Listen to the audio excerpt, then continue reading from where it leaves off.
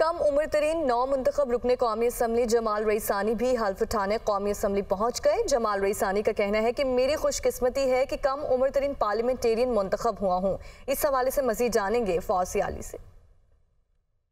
अरकान पार्लियामेंट की आमद का सिलसिला जारी है असम्बली इजलास होने जा रहा है। इस वक्त हमारे साथ सबसे कम उम्र तरीन अरकान पार्लियामेंट जमाल रईसानी साहब मौजूद हैं। इनसे जानते हैं। अल्लाम सर। वालेकुम अस्सलाम। कैसा महसूस कर रहे हैं? सबसे पहले तो सबसे कम उम्र तरीन आप हैं तो इस पार्लियामेंट में आके आज आ, ये मेरे लिए एक खुशाइंद बात है और एज़ाज़ की बात है कि 25 साल की उम्र में जहाँ हमारे नेबरिंग कंट्रीज़ में लोग पॉलिसियाँ बनाते हैं हम आ, मुझे भी ये चांस मिला है कि पाकिस्तान जैसे मुल्क में इलेक्ट हो के एक यंगस्ट लॉ मेकर के शक्ल में पार्लियामान में आऊँ।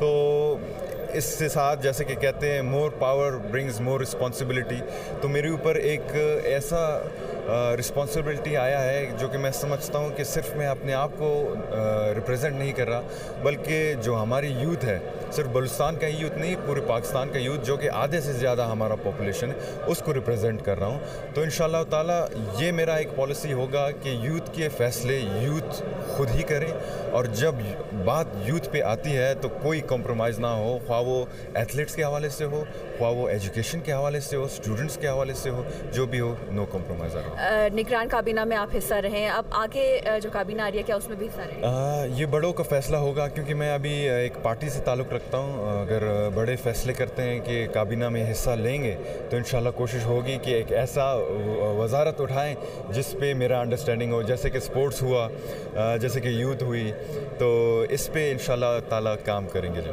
जी, बिल्कुल जमाल रेसानी साहब का यही कहना है कि अगर उन्हें मौका दिया गया तो वो नौजवानों के लिए और जो उन, उनकी पसंदीदा वजारत अगर उन्हें मिली तो ज़रूर वो जो बढ़ चढ़ के हिस्सा लेंगे, जी।